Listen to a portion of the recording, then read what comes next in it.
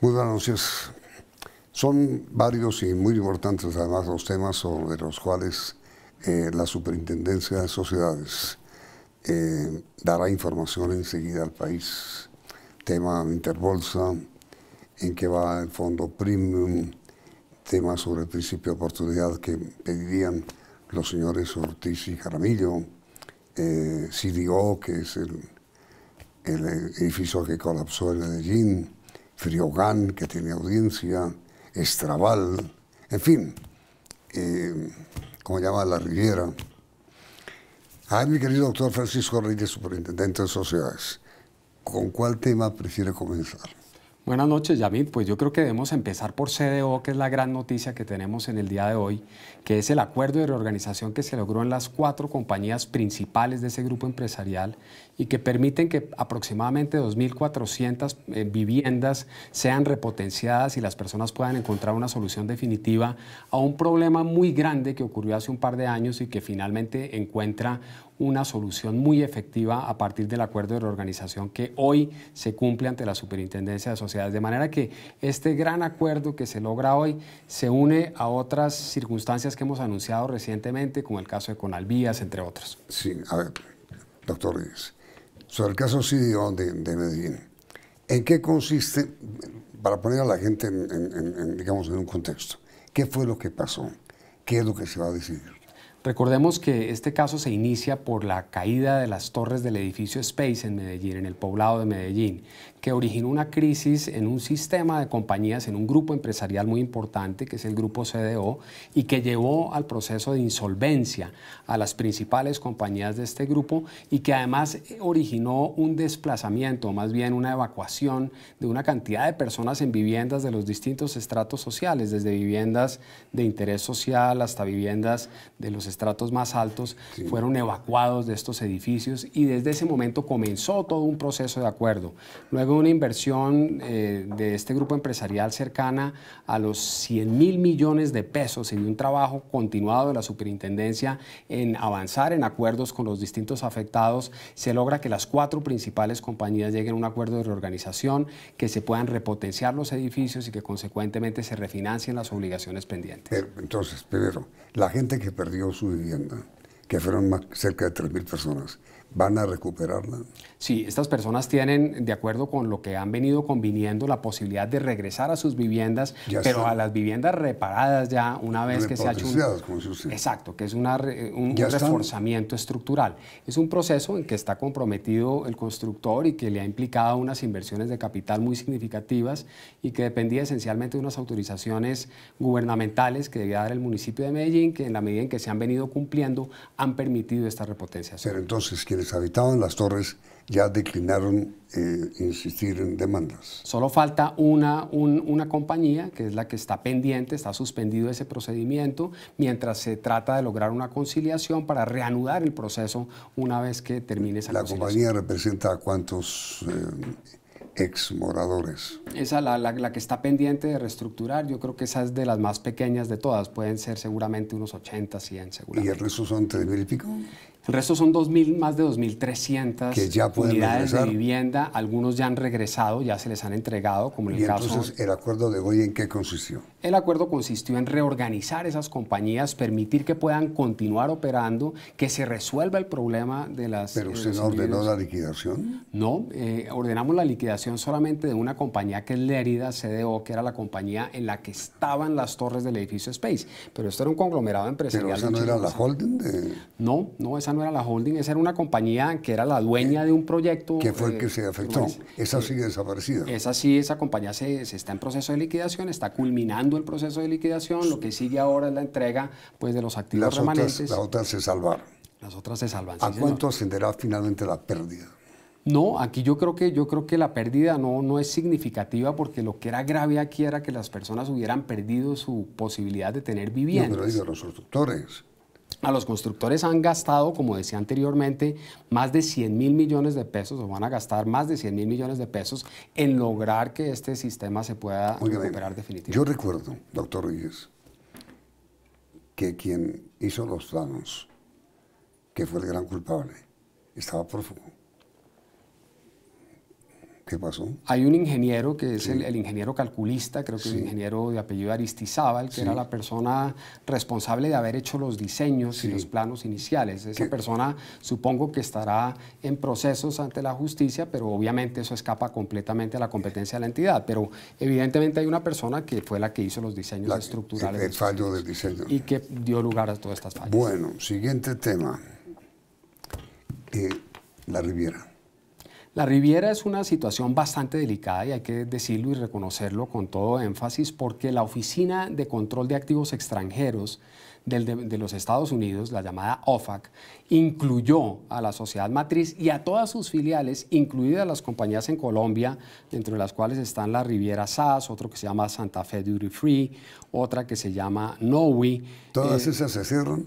Todas estas compañías entraron en la lista Clinton, es decir, están sometidas a un control por parte de la Oficina de Control de Activos Extranjeros de los Estados Unidos, lo cual tiene unas implicaciones bastante graves desde el punto de vista del sistema financiero, porque los, bancos normalmente son muy cuidadosos cuando una compañía está en esta clase de situación. Ya no es, doctor, es el solo afectado, el solo dueño. No sino ya sus posibilidades. Es, es, es, es, absolutamente claro que estas compañías, estas sociedades colombianas están incluidas en la lista. ¿Por qué? Porque aunque no tengan una designación específica con nombre propio, lo que establece el Departamento este de, de, Control de Activos Extranjeros es que todas las filiales de la compañía que entra en la lista quedan automáticamente incluidas en ella. Nosotros obviamente tenemos un cuidado especial en esto y por eso nos comunicamos directamente con los funcionarios competentes de la OFAC en Colombia, quienes nos confirmaron que en efecto estas sociedades están en la lista Clinton y a partir de eso tomamos unas medidas de control, que son unas medidas de intervención sobre esa compañía con el propósito de hacer un seguimiento y un monitoreo permanente. Ahora, pero tengo entendido, doctor Reyes, que los tres mil y pico de trabajadores que laboran en estas, en estas dos entidades le han pedido a las autoridades norteamericanas que les permitan continuar trabajando. Sí, es cierto y hasta ahora las compañías están operando. La verdad es que las medidas que ha tomado la superintendencia no afectan en absoluto la continuidad de la compañía. Son más las medidas de los Estados Unidos las que pueden tener una implicación sobre el acceso al crédito, a los mecanismos financieros, al mercado internacional, a los Pero sistemas no las van a cerrar. Por ahora no está previsto eso. No está previsto eso. Lo que hemos hecho nosotros es someterlas a un grado de intervención, que es el más drástico, que se llama control, en virtud del cual la superintendencia hace un seguimiento permanente sobre estas compañías. Están intervenidas. Sí, señor. Que es Santa Fe y Riviera. la Riviera, Santa, Fe, y No No Santa Fe. Duty Free, eh, no el equipo, ¿no? eh, eh, el otro tema es Interbolsa. Interbolsa, tenemos dos, dos, dos, componentes de Interbolsa. Uno es la compañía Interbolsa SA, que nosotros logramos liquidar y anunciarle al país a comienzos del año, precisamente en este mismo programa, Yamid, que habíamos terminado el proceso de liquidación. Y el otro es el Fondo Premium, que es esta operación de la que forma parte un conglomerado en el que hay más o menos 50 entidades intervenidas entre personas naturales, sociedades, entidades en Colombia y en el exterior, que está siendo objeto de un proceso de liquidación por parte de la Superintendencia de Sociedades. Hemos avanzado enormemente en ese proceso de recaudar activos para pagarle a las víctimas y yo creo que aquí ya la buena noticia es que es posible que los activos sean suficientes para satisfacer, si no todo, la mayoría del pasivo que existe en ese caso. Pero yo he oído y he leído quejas de los ahorradores en el fondo premium en el sentido de que no se ha hecho nada, de que no les han devuelto nada. Pero eso es totalmente incorrecto, ah, porque lo que hemos hecho, Yamid, es hacer devoluciones. Ya hemos hecho cuatro eh, pagos sucesivos por más de 50 mil millones de pesos. A los ahorradores. A los ahorradores directamente. Y cada vez que logramos liquidar un activo y obtener dinero en efectivo, se lo entregamos a los ahorradores porque nosotros nos creemos que ese es el interés principal. Digamos, lo que usted recibió por dar ya lo entregó. No, lo de Archis lo vamos a entregar pronto y esa es, la idea es que esa plata se entre. Lo que pasa es que eso era una sociedad y hay que liquidar la compañía para poder entregarle los ah, recursos. a todavía falta. Pero la compañía se vendió en un precio eh, estupendo, la valoración inicial era de unos 21 mil millones, se vendió en más de 50 mil millones de pesos al grupo Alsea, que es un, un grupo muy serio, que pagó rápidamente el dinero y ahora estamos liquidando la compañía con el propósito de que tan pronto haya liquidez podamos entregársela a, ¿A cuánto ascendían los ahorros obviamente ilegales que el Fondo Premium tenía? el número de afectados y el valor de... El valor. el valor era más o menos 320 mil millones de pesos. ¿Y usted ha recuperado cuánto? Pues se ha recuperado una suma muy sustancial que nosotros creemos que está cercana a ese valor. Pero, lo que pasa es que hay activos que son ilíquidos y el proceso ha sido muy tortuoso. Ya a mí también Pero todavía falta por devolver. Claro, claro, tenemos una serie de activos importantísimos que ha embargado la superintendencia y, que están a disposición los ahorradores ¿Están seguros que se les va a devolver todo lo que ahorraron? No, no podríamos hacer una afirmación tan contundente como esa, pero lo que sí podemos decir es que con todo lo que ha embargado la superintendencia y el trabajo que ha efectuado el liquidador, a pesar de las grandes vicisitudes que tiene este proceso que ha sido muy complejo, se ha logrado recuperar una cifra muy sustancial que seguramente va a permitir que se recupere una parte muy importante de lo que la, las ¿Y personas... ¿Y fondos que existían en Luxemburgo, en Curazao, en Islas Vírgenes, etcétera, se recuperaron? El Fondo de Luxemburgo se recuperó plenamente y con eso logramos cerrar el proceso de liquidación de Interbolsa SA y en este momento, precisamente hoy, está viajando a Curazao el liquidador Alejandro Rebollo con el propósito de tratar de repatriar 5 millones de dólares que están en cabeza de las autoridades de, de Curazao. ¿Qué es lo que pasa con el doctor Rebollo que están hablando de que bueno, el doctor Rebollo ha hecho un trabajo para nuestro gusto admirable realmente en recaudar eh, activos, en tratar de, lidiar con todas las vicisitudes de un proceso de esta naturaleza y naturalmente está sometido a escrutinio de todas las autoridades y, de todas las, partes. ¿Por qué las críticas? Bueno, pues es que hay personas, lo que, lo que tenemos claro nosotros es que él ha configurado un comité de seguimiento del trabajo que él hace y ese comité está integrado por los mismos afectados, por los acreedores del fondo premium. Y esos acreedores permanentemente le dan el aval a las cuentas. Porque dicho sea de paso, y a mí yo creo que esto hay que decirlo con todo énfasis, toda la información de las liquidaciones que se llevan en la superintendencia y Premium no es una excepción, es absolutamente pública. Aquí hay un debido proceso, todo el que quiera mirar los documentos lo puede hacer, puede inspeccionar los registros, los libros, eh, los asientos contables y puede objetar todo cuanto quiera. De hecho, ya a mí los inventarios de Premium han sido objeto de más de 100 objeciones, más de 100 objeciones se han presentado y han tenido que ser resueltas en procedimientos litigiosos en la superintendencia. ¿Qué opina, doctor Reyes, sobre la supuesta negociación que hay entre la Fiscalía y los doctores um, Ortiz y Aramillo para que mediante el principio de oportunidad, es decir, la delación de supuestos um, cómplices, puedan eludir la pena? Lo que yo puedo decir sobre eso es que las leyes vigentes tienen unos trámites en derecho penal que permiten ciertos beneficios. Esos beneficios son de administración de la fiscalía. Nosotros no, no interferimos en esa clase de procedimientos.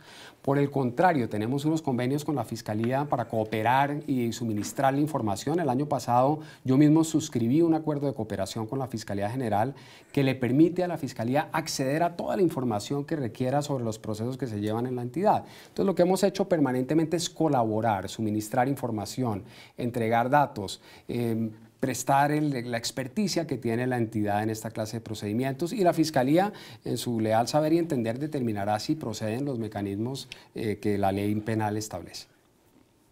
Yo sé pues, que ese es oficio suyo, pero no está dentro de sus funciones, quiero decir, pero usted que conoce todo lo que pasó en en Interbolsa y en el Fondo Premium. Sería partidario de que tanto los señores Ortiz como Jaramillo, papá e hijo, fueran beneficiados por la ley. Para nosotros lo más importante es que se resarzan las víctimas. Realmente nosotros no tenemos un papel activo en la, en la parte penal. Pero para usted, para usted que conoce el tema, que ellos, que ellos no paguen ningún tipo de, de, cárcel de detención por el delito que cometieron, ¿está bien? Pues en lo que corresponde a la superintendencia, por el contrario, nosotros hemos sido muy drásticos con las personas eh, que han participado en este, en este proceso. De hecho, la superintendencia no solamente ordenó la intervención de todas estas personas, todos ellos están intervenidos, todos sus patrimonios están en liquidación, todos sus bienes están embargados. No solamente eso, la superintendencia les declaró la inhabilidad para ejercer el comercio por términos prolongados. De manera que la, labor de la superintendencia ha sido muy drástica frente a todas las personas que han participado en este caso, como lo ha sido con respecto a muchos otros casos que se tramitan en la superintendencia, porque ese es parte del trabajo nuestro. Ahora, lo de la fiscalía, pues es un asunto que le corresponde a las autoridades penales y en el cual pues nosotros no tendríamos realmente un, papel protagónico.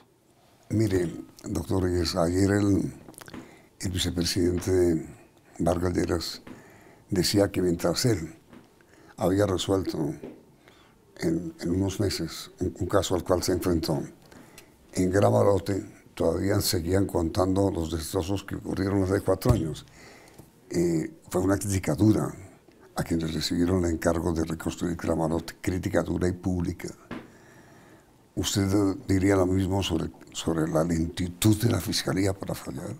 No, no, nosotros Yamit pues obviamente somos respetuosos también porque entendemos que esos trámites son complejos. Y al contrario hemos visto que las actuaciones de la Fiscalía pues han logrado avanzar en esos procesos, es decir, esto no es un proceso, yo no creo que este proceso pueda caracterizarse como un proceso de impunidad, al contrario, hay una gran cantidad de personas que están detenidas. ¿Cuánto hay que estalló? Bueno, lo que pasa es que esto tiene unas instancias probatorias que son muy complejas y las personas lo cierto es que están detenidas en este momento. Entonces, todavía no podríamos eh, hacer un juicio de valor tan drástico como decir estas personas están en la impunidad. Eso, eso creo que no sería razonable en este momento, ni creo que haya circunstancias que justifiquen esa afirmación. Muy bien. Estrabal, ¿qué pasa, qué ha pasado y qué pasará? Bueno, Estrabal es un problema como otros que se presentan ante la superintendencia, un, problema, una crisis que se presenta en una compañía de libranzas, una sociedad que lo que hace es vender unos pagaré libranzas y que llega a una situación de iliquidez. Es una manera de hipotecar el sueldo. Sí, exactamente. La libranza es un sistema de, hipoteca del sueldo en que se paga contra los flujos de caja que genera el, empleado. Claro, y entonces, eh, doctor, ¿en qué consiste el problema? ¿Y cuál es la solución? Inmediatamente después de comercial.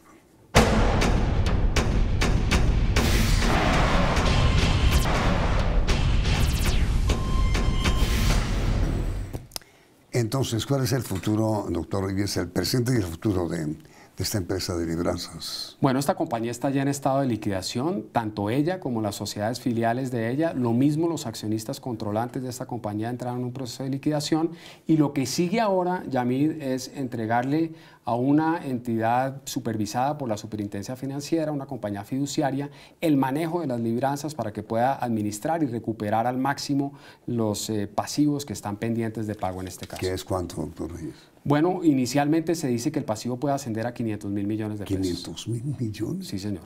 ¿Y, cómo, ¿Y cómo se van a recuperar?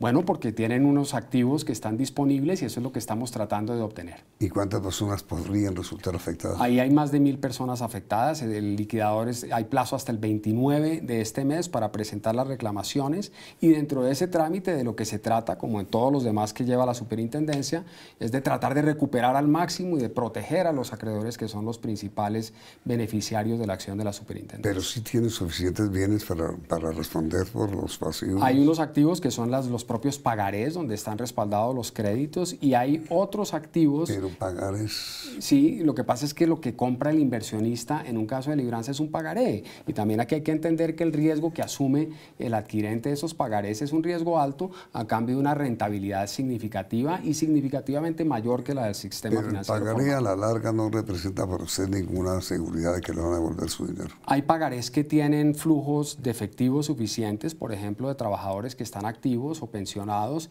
y consecuentemente pueden tener suficientes recursos para cubrirlos. Otros seguramente no los tendrán y ahí es donde la superintendencia tiene que actuar para que los accionistas pongan a órdenes del liquidador el faltante de manera que se pueda cubrir en la mayor medida posible. El objetivo de la super aquí en este caso concreto es cuál? liquidar esta, esta entidad y, eh, las distintas compañías filiales y tratar de pagar al máximo con los activos disponibles. Ahora, eh, Friogan es una compañía que lamentablemente entró en una situación de insolvencia, llegó a un proceso de reorganización porque no pudo pagarle a unos bancos unas obligaciones que tenía y tiene una última audiencia que está programada para el próximo lunes en la cual si no se logra un acuerdo definitivo con los acreedores, pues tendrá que someterse a un proceso de liquidación como ya ocurrió con el Fondo Nacional del Ganado. Si entra en liquidación, ¿quiénes, quiénes terminarán siendo afectados? No, yo creo que no, ahí no, es muy posible que no haya afectados sustanciales porque los activos que tiene la compañía podrían eventualmente ser suficientes para pagar el pasivo. De manera que ahí es muy posible que... ¿El fondo Nadira no tenía inversiones ahí? El fondo era avalista o garante de las obligaciones de... en la medida en que se puedan pagar esas obligaciones con los recursos propios de Friogan, pues el fondo ya podría cumplir su proceso liquidatorio. ¿Quién va a responder por las... Uh, de los acreedores de Friogán? Los acreedores de Friogán se van a pagar contra los propios activos de Friogán, que son suficientes en este momento. Sí, el pasivo puede estar en el orden de los 70 mil millones de, pesos y los activos ¿cuánto 70 mil millones de, pesos. ¿De qué depende que la audiencia tenga éxito o no? Depende de que se presente una fórmula de acuerdo que cuente con los votos previstos en la ley 1116 del 2006 y que esa, esa fórmula sea legalmente aceptable. ¿A usted le gusta que haya una fórmula de salvación? La superintendencia siempre está buscando fórmulas de salvación, no en, no en este caso en particular, sino que el propósito general es garantizar todas las posibilidades que una compañía pueda tener para recuperarse. Usted no es tan perverso. Yo no soy nada perverso. Pacific. Pacific es un, yo creo que es un caso de éxito, un caso de éxito no solamente de las autoridades colombianas, sino de la Comisión de Naciones Unidas para el Derecho Mercantil Internacional, porque es una sociedad que ha logrado un acuerdo en tres jurisdicciones distintas, en Canadá, en los Estados Unidos y en Colombia, gracias a que los tres países tienen la misma ley. Y esa armonización se logró gracias a esta Comisión de las Naciones Unidas que tiene una ley modelo para los tres países. ¿Pero usted ha escudriñado bien a Pacific? Bueno, el trabajo de los últimos meses en Pacific se ha circunscrito exclusivamente al problema de los acreedores. Nuestro objetivo principal ha sido proteger los acreedores en Colombia. ¿Cuánto vale la deuda de Pacific? La deuda de Pacific en, los Estados Unidos solamente. aquí. puede valer cerca de 800 mil millones de pesos. Eh, en los Estados Unidos esa deuda era cercana a los 5.300 millones de dólares y, fue reorganizada. Ya fue reorganizada. Pero, esto, pero ah, por, eso, por esas por esas deudas responde Pacific Colombia o Pacific Canadá. Eh, lo que pasa es que las deudas de Canadá fueron reorganizadas completamente a través de un sistema de capitalización que fue homologado por la Superintendencia de Sociedades al reconocer el proceso extranjero, lo cual no impide que en cualquier momento la Superintendencia abra un proceso en Colombia si se llega a presentar una situación de crisis. ¿Y con qué le van a pagar los de los acreedores. Con los flujos de caja que genera la compañía, que es el segundo productor de petróleo que hay en el país. ¿Y si son suficientes? Pues produce cerca de 150 mil barriles de petróleo al día, eso, Pero a pesar del precio... entra de aquí y va para allá. No, no porque los, los, la, la, deuda en los Estados Unidos fue reorganizada completamente, entonces ya esa deuda se suprimió prácticamente, se capitalizó y lo que queda solamente son los flujos de caja para el funcionamiento de la compañía. Bueno, doctor Reyes, llegó la hora. Yo digo una palabra y usted me la responde, por favor. Antes de eso, ¿tiene algo más que agregar? No, yo diría que venimos cumpliendo un trabajo que es ciertamente muy complicado, cada día con unos afanes tremendos, pero creo que el, trabajo nuestro es tratar de resolverlos hasta donde se puede. A veces la gente quiere que uno haga milagros, que se puedan satisfacer todas las obligaciones de todas las compañías, que se puedan evitar todas las crisis, pero eso realmente no es posible en la práctica. Entonces tratamos de mitigar el daño y atenuar los, los perjuicios. Entonces, la parte final de nuestra entrevista.